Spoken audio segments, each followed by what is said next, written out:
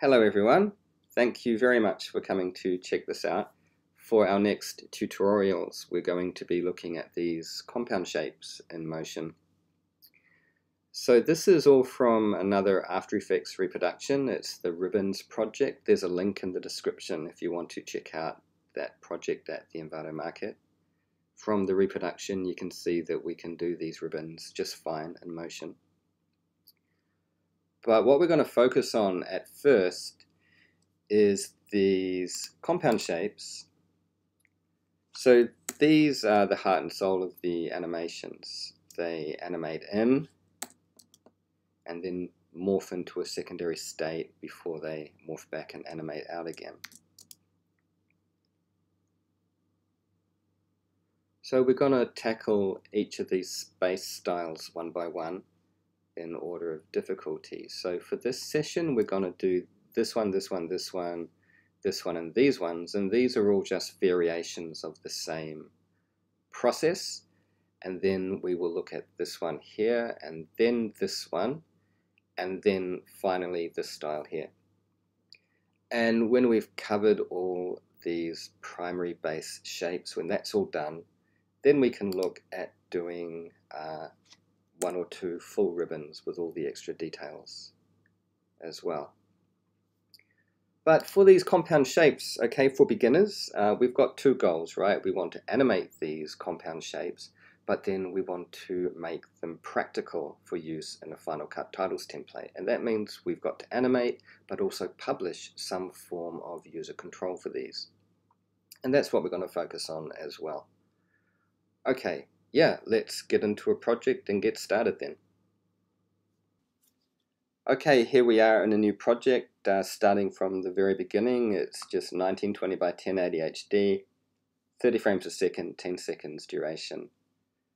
So I'm going to grab this group and add a rectangle using the shape tool, center that layer.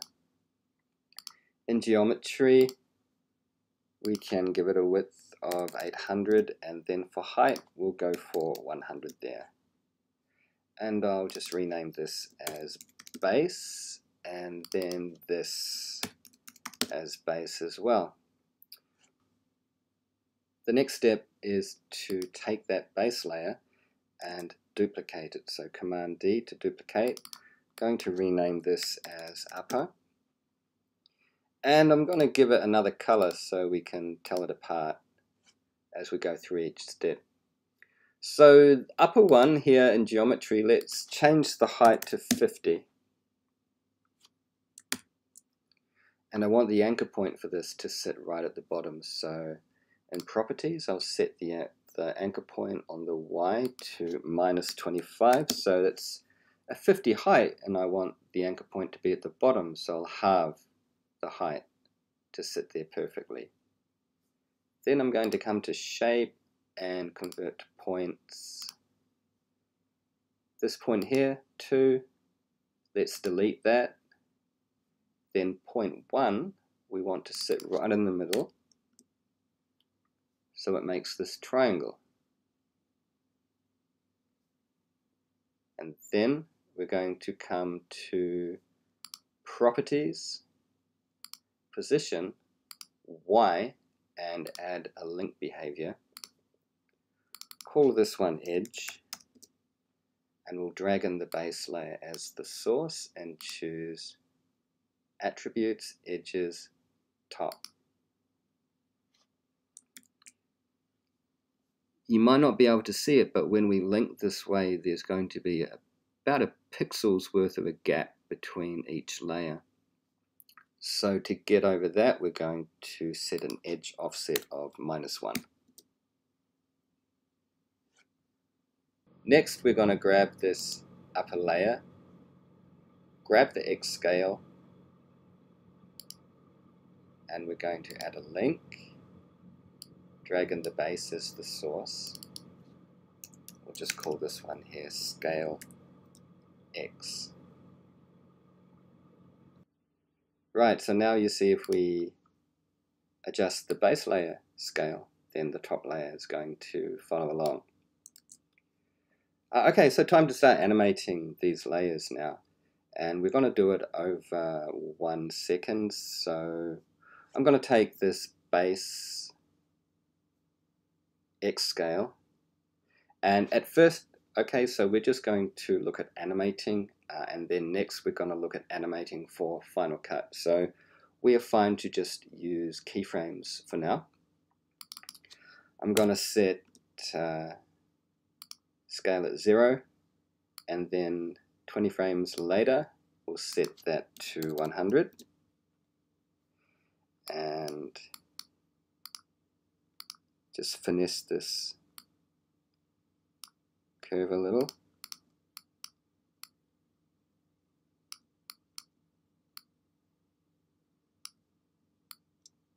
Alright, and from the 20th frame to 1 second, 10 frames later, we'll set another keyframe and set that scale to 80%.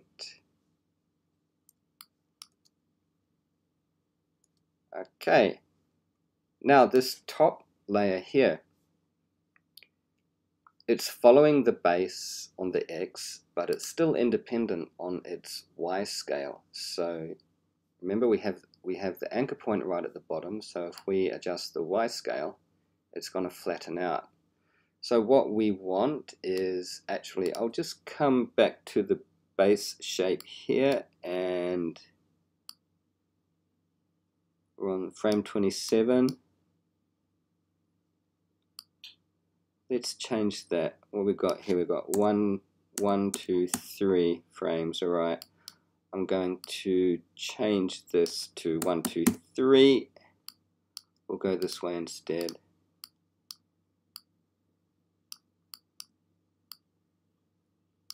Okay, so now back to this Y layer. We are going to set this Y scale to 0. So that's at 100, we're going to set this to 0 and then set a keyframe here. And then at this frame here, at one second, we will set that to 100. And finesse the curve to match. So we got one, two, three.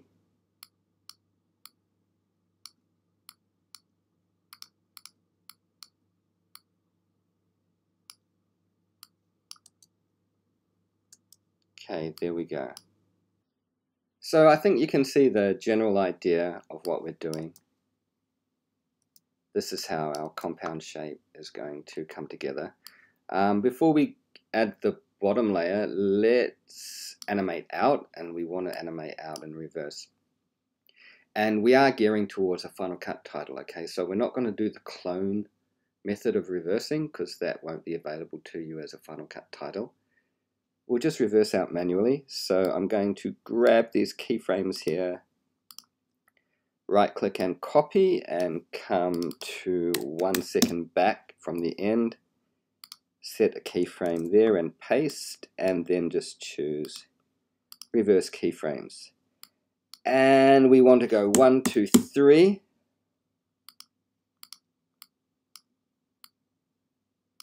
I'm choosing to do this way. You can just leave it as the direct mirror if you like.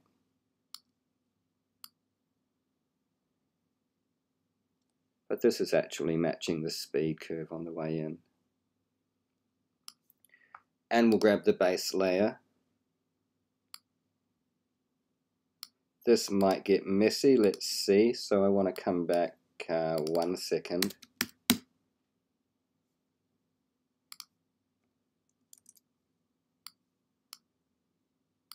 And reverse. Right, okay. One, two, three.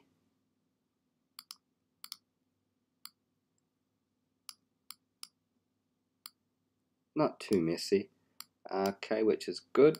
And then, where are we? Frame seven there. So one, two, no, from here.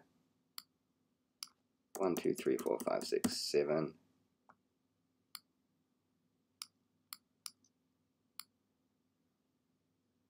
Okay, there you go, a little lesson on manually reversing keyframes.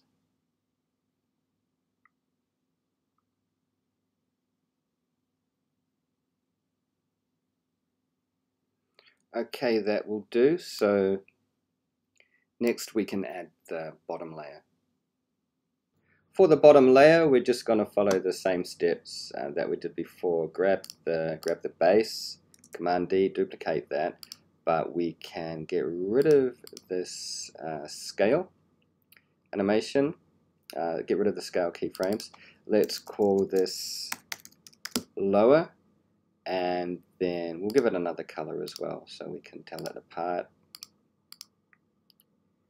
And then again in geometry give it uh, 50 for height. Then in the anchor point though we want positive 25 so you can see the anchor points right there. And we are going to grab this shape convert it to points and let's delete control point 4 there. So what does that leave us with here? Number 3 so we'll take 3 and set that one to 0 so there's our triangle again. And we're going to grab this edge link from upper just alt drag that to lower so we've got a copy of that now uh, applied but we're going to change from top edge to edges bottom and we want that offset to now be positive 1. Okay, and then uh, let's Command C to copy this scale link and paste that onto lower as well.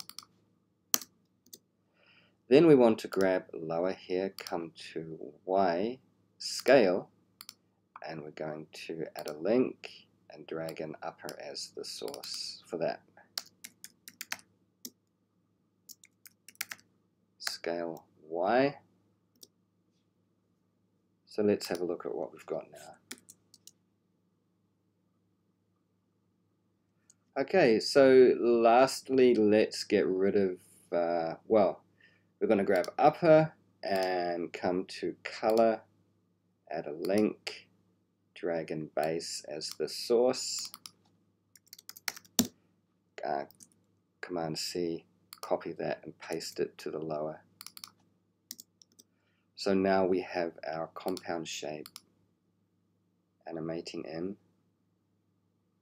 and it should animate out again as well all together. Okay, so at this stage we've got uh, the base animation, we've got the base compound shape working and here it is again. So like I said in the introduction, uh, these first shapes are the easiest ones to do. They are just variations of this first uh, method here. So to get your shape variations, uh, there's two ways to go. So the first, of course, well, if you want just the upper, turn off the lower. So, or if you just want the lower, turn off the upper. Uh, but for the actual shape itself, you just want to contour the top layer. And we can do that by making these points smooth. So right away, uh, if I come to the lower and do the same, So I'll leave you to work on your own creations and see what you can do with that. Uh, it's always a good idea to have your guides turned on if you're going to work with your control points. So we're at um, minus 320 over here. Let's go to 200 on that side and 200 on this side. So if you want to flatten things out, use your guides so that you can get uh, symmetry going.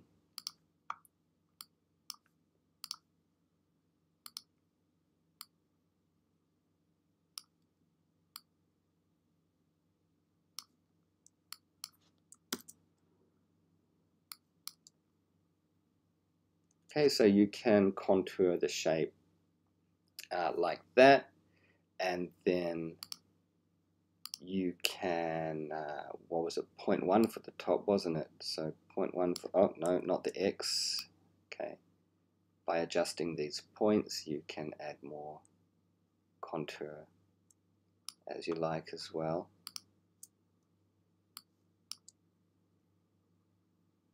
For example, right, uh, so we could go on forever about all the different things you can do. I think by now uh, you can see clearly uh, what we can do. Just going to undo all of that, get back to the beginning. Uh, okay, so let's have a look at an alternate way to get different contour or different uh, styling for the shape. Okay, uh, so to show you first, let's make a duplicate of this. Let's just call this uh, base 1 and then duplicate that. Call this one base 2. So let's turn off 2. We'll grab base 1 and move it down. Uh, okay, so for this one now, let's grab the upper layer, just edit points here. Let's start to make this uh, smooth. So throw that over there and over there, and we'll do the same for the lower one. Um, this is how I work with it. You might know more efficient ways, but this is how I get it done. Okay, so we've got this result from that. Alright, so let's turn on base 2 and we are going to do the same thing there. Grab upper, it points there smooth and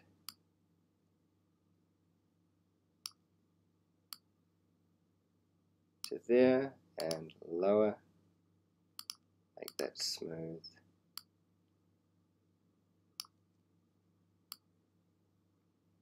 Okay uh, but this time what we're going to do is remove these scale links. Remove the X scale links and we're going to grab the base for this one. We'll just turn off base 1 for now. Grab the base for this one, duplicate it. I'm going to call this layer here clip. Okay, and clip, uh, come to scale, reset that X scale, and add a link for the scale. Use base as the source. Okay, so now it has the same X scale anim animation as the base. But what we're going to do now is give it, uh, we'll give it another color to tell it apart. Let's make this height something gigantic. And then for upper, add an image mask, drag and clip, and lower add an image mask as well, drag and clip. You could group upper and lower and just mask them in the one go. Okay, so now we get this result instead, and if we turn on the original, you can see the subtle difference there. So uh, with the first one, the area stays the same. I think I'm, I'm probably not putting that in the right terms, but in the top example, you see that um, the area is being shifted around as it morphs into the second state as well. Alright, so that's another twist you can add to get more variation with the shape and the morphed state.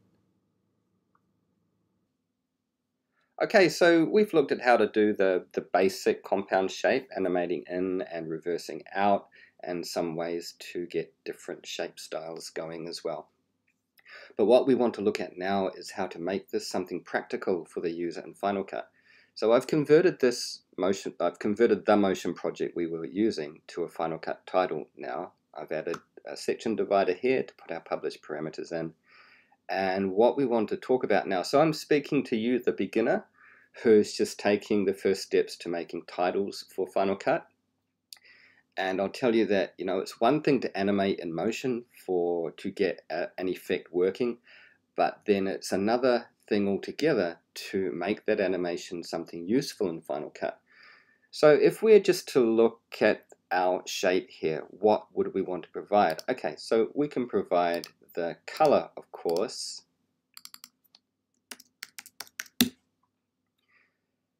Now, how about the height? Okay, so we've used link. So if I come to the base Y scale, that's free. It's not animated, okay, it's free. We're going to change how this is done anyway. That's free, so I can publish this freely. So that can give us our the height, but it's the length which is the sticking point, and that's where we want to look at going about things a different way. And what you're going to see here is something I've done in the previous guides we've done uh, automated titles, but we're going to do it again in this situation. And it's something that's useful uh, for many different situations as well. So it's how to animate and publish at the same time. Uh, okay, so for beginners, the basic principle is this. If you have keyframed a parameter, you can't publish it. If I do publish that, what will happen in Final Cut is that I'm actually telling Final Cut to ignore all the preset animations I've done. So if you publish a keyframed parameter, Final Cut will just treat that as dormant and it will ignore it. So we don't want to publish anything that we have keyframed directly. We want to animate with keyframes uh, or through behaviors in a different way and that's what we'll look at now. Okay, so the first thing I'm going to do is create a new group and I'm going to call this group the null. And in this group I'm going to put a shape layer. It can be anything. Um, let's just center that on the X. We'll make it a uniform size. Okay, so this shape layer has properties. It has all the same properties as this layer. So what we're going to do with this layer is we're going to always be mindful of, of, where our keyframes are. So we've got keyframes on the 20th and the 30th frame and then on the way out as well. We're going to reset this X animation on the X scale. So now that's what we've got, right? Nothing's happening with that base shape at all. Um, we're going to give it a value of 0 now, actually. And then what we're going to do is we are going to add a link.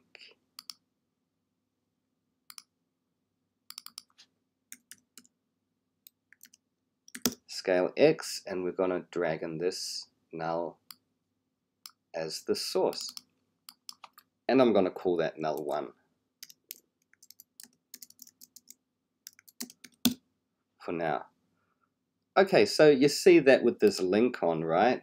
If I turn it off, we've got zero. If I turn it on, we've got 100%. So inside of the link behavior, you're going to see this value here, the custom mix slider. Well, this is the mix value. Mix over time, it's set to custom by default, and we can slide that between zero as, as an off to 1 as an on. And so by animating this, we can get our animation back. So let's set this at, um, we're going to go here. We're going to set a keyframe and we're going to make that 0.8. We're going to go here, set that keyframe and make that 1. And come back here set our keyframe at 0. And we want to return the finesse we had on these curves originally. Gets a bit messy when we use this process. You can see how quirky it gets down here in the keyframe editor. But we'll just push through that. So it was uh, 1, 2, 3, yep, and one, two, three. Okay, cool. And then we want to come back here and we want to do the same. So set a keyframe from there to there. And that's going to be 1 and out. Set the keyframe that's going to be 0 and we want to reverse all these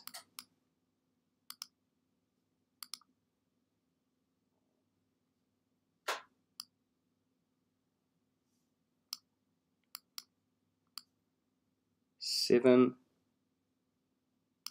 one two three four five six seven okay to there to there and one, two, three to there.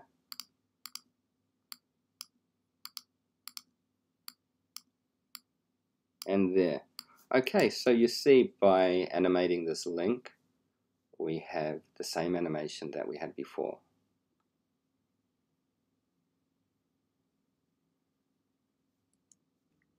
So from here, we're going to take this null layer and publish the x parameter as our length control.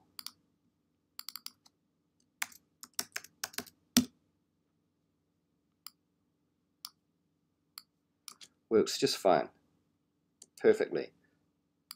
So why do we do this? Okay, so for beginners, uh, like I've mentioned before and in the other guides I've posted about making titles, it's one thing to animate shapes and layers in motion to do something, but then to make that something that's practical for use in Final Cut, that's another skill. And when you build your titles, build from the ground up to make it possible.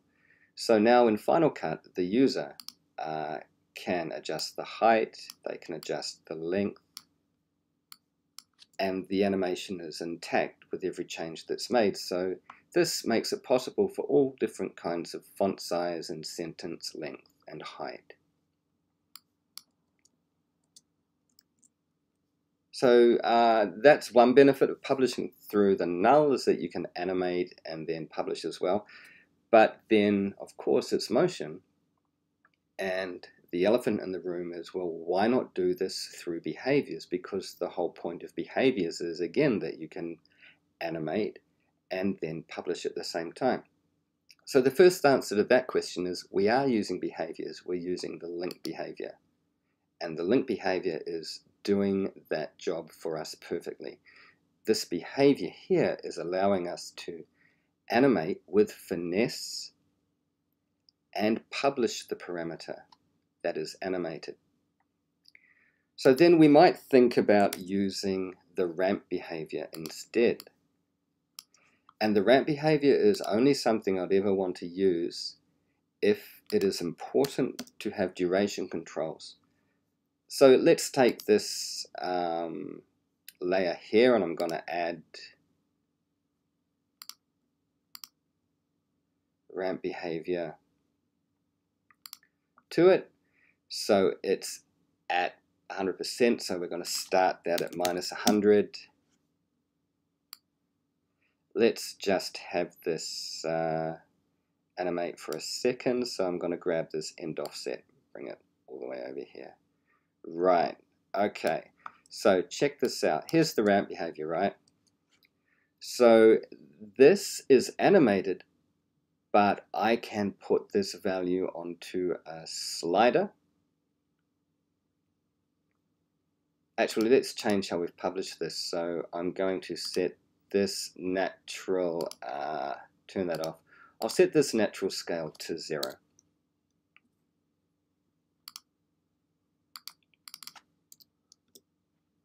Okay, then we'll turn the ramp and we'll have uh, start offset at 0, in, in value at 100. Okay, so it will work this way now.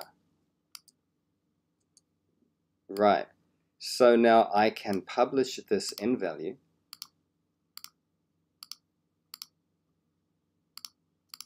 Call it length. And look, I can animate and publish at the same time, which is great. But the big difference between using the ramp behavior and using link and null is the finesse. Look at this speed curve down here. So using through null, we get the nice um, variation with speeds. with the ramp behavior, the best you can get is an ease in and out, which is plain and boring and good for some things and not good for other things. And in this case, to reproduce the ribbon uh, project, it's not good enough. But as I said, uh, ramp is useful for when we want to rig duration controls. And uh, I've put up a guide about rigging for duration controls before, so I'll link to that. So if you're curious, you'll see what I mean. Uh, but yeah, so let's just get rid of that for now. I think I've made my point of why we want to animate through a null. So we'll turn that off so in the actual title you wouldn't see it, right? Okay, so that is how we would provide uh, a length control for the first state. Let's just reset that. So that provides this length, right? But there is also a second length, the morphed state. And we can do a control for that as well. So let's have a look at that too. So before we get started on that, I'll just say we're going to do this uh, as a learning activity. Not because this kind of template really demands it. I think to have just the, the main length is probably enough. Um, having an adjustable control for the final length. So we've got first state length and final state length. Having an adjustable control for the final state length, probably not going to make or break this template, right, for utility for the user.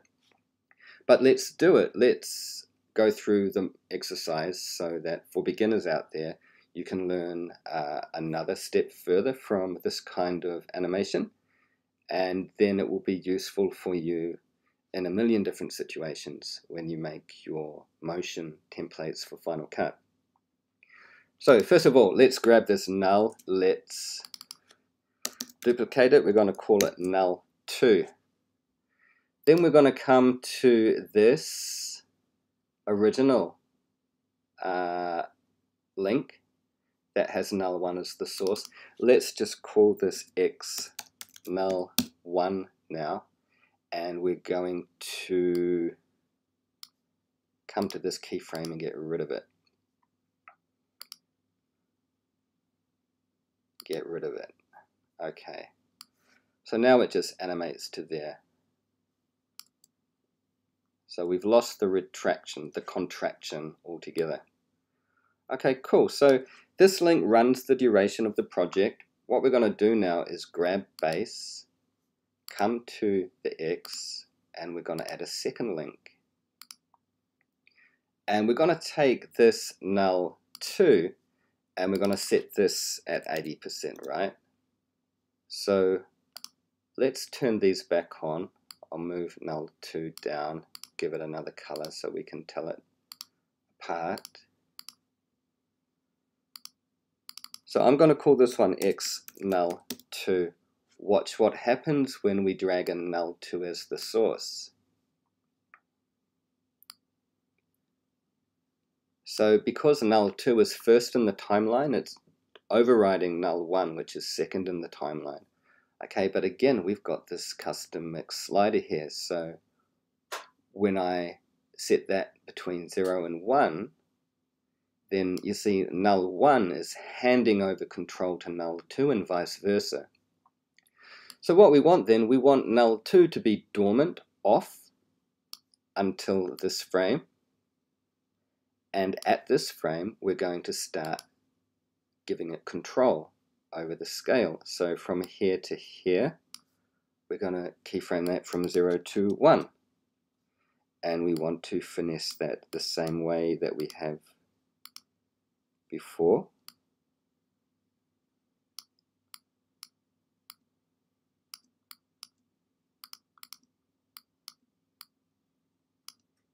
And right here, we want to set a keyframe so that between that frame and that frame it goes back to 0 and hands control back to null 1.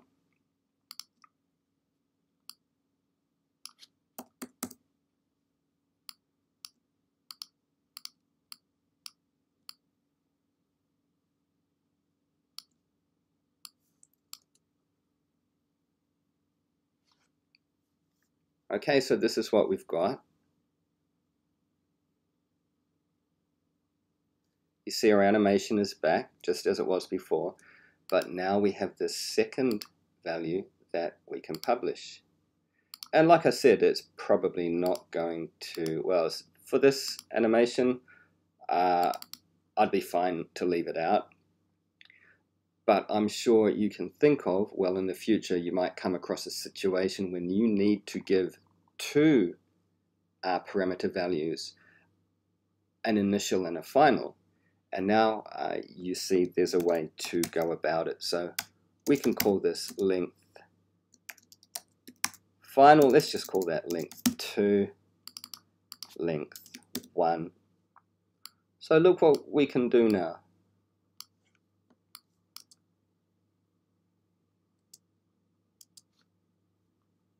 Okay, and we'll turn these off.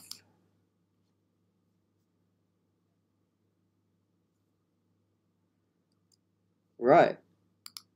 And that about wraps it up. That's all we need to do for this first uh, basic shape. But what we looked at for publishing is going to be relevant for pretty much all the shapes we're going to do from here. And if you're a beginner, just remember this method because it's going to uh, make many more things possible than you thought might be possible with motion. Okay, um, that's that for this one. So I will do my best to find the time to post content, uh, post the next tutorial for the next morphing shape. Until then, thank you very much for checking it out. Thanks for watching.